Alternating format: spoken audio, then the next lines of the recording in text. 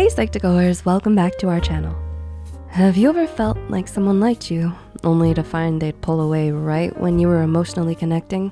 Maybe they were giving you mixed signals, or maybe you have a hunch they might be afraid of rejection. For many, fear of rejection prevents them from progressing emotionally into a relationship. Many psychologists theorize that when one goes through negative experiences, their feelings of love and fear can become connected. Seeing that there are research studies backing this theory, you might not be off in thinking that your date might be hesitant going into a new relationship due to a past heartbreak. So how can you tell? Well, here are six signs someone likes you, but is afraid of rejection. Number one, they're nervous around you. When most people like someone, they can become a little nervous. Stammering, breaking out in sweats, and clammy hands may just be signs that they like you so much that you make them nervous.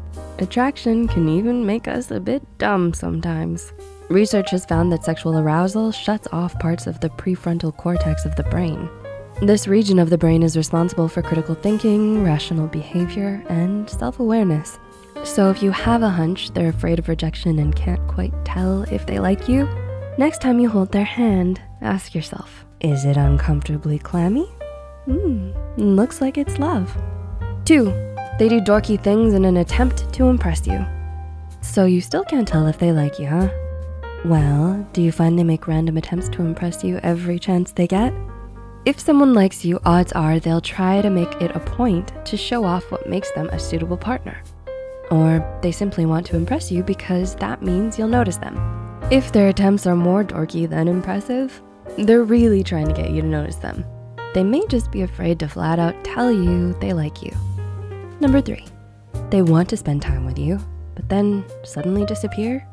A telltale sign they're afraid of rejection. Just when they start getting emotionally close to you, they pull away suddenly. Your conversations are near daily. You text each other good morning and good night, but then suddenly they start to become busy and seemingly disappear. They may be trying to see if you're as interested as them.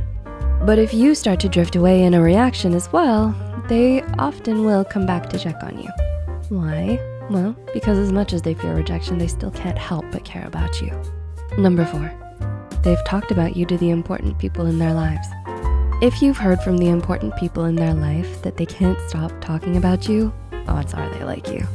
If they mentioned or even introduced you to their family, they may even want things to get serious, but are a bit hesitant due to the fear of rejection in the future. Number five, they go out of their way to do things for you, but don't like to talk about their feelings. Some people have trouble expressing their feelings and fears.